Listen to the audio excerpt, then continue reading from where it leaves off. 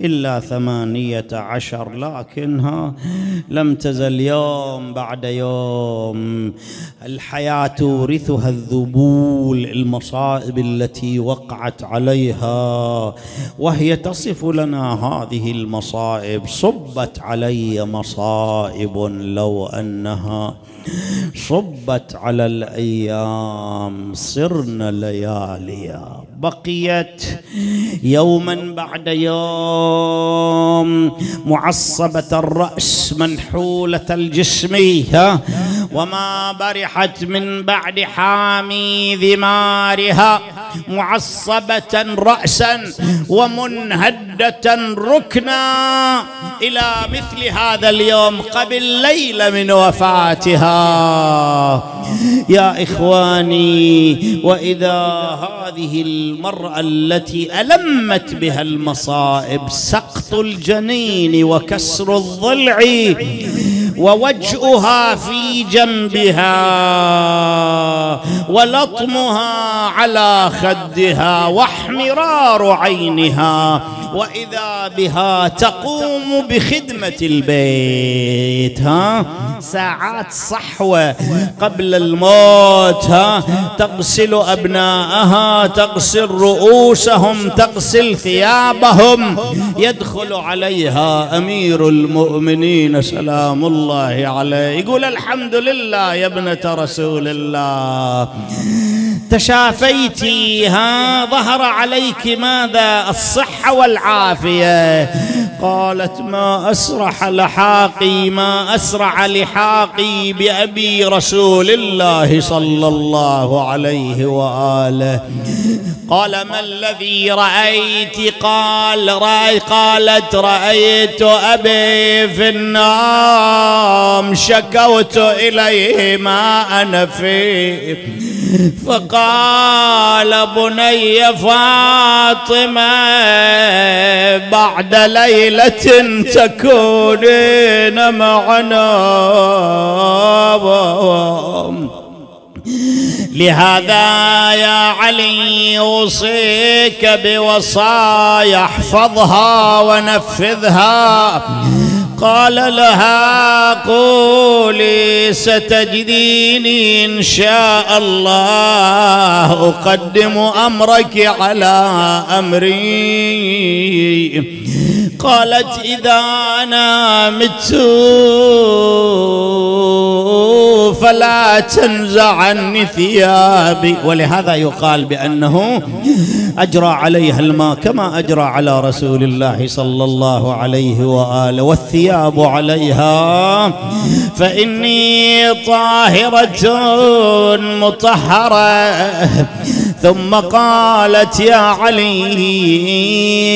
اصنع لي نعشا. رأيت الملائكة قد صوروا صورة. ثم قالت يا علي إذا أنا مت فتزوج بابنة أختي أمامة. فإنها تكون لولدي أو لولدي مثلي وأوصيك بالحسن والحسين وزينب وأم كلثوم. ضمها إلى صدره وهو يقول بلسان الحال الزايد عليك اليوم. يا زهرة تلوجي الزايد عليك اليوم. يا زهرة تلو بطلي ونين جذاب قلبي لا توني يم الحسن بطل الونين وجاء بيني وشوف يا ولادي بالبواجي مذوبيني صاحت يا حيدر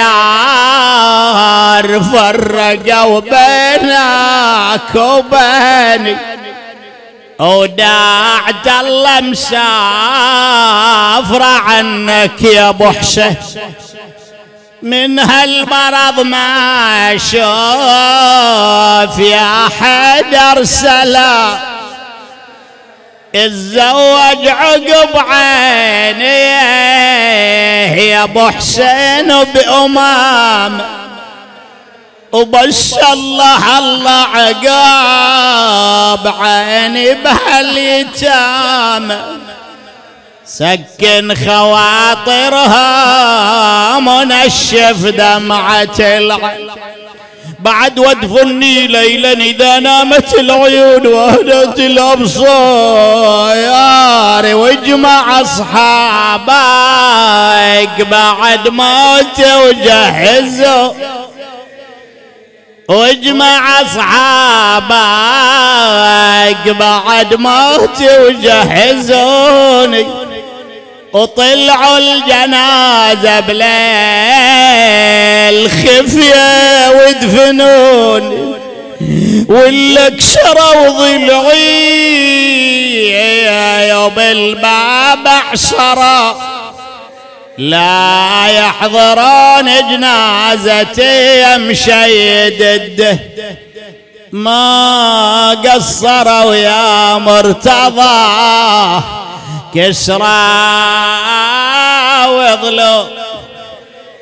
لليوم من ضرب الرجيس الرجيس ما نشفت دمو لليوم من ضرب الرجيس ما سكن.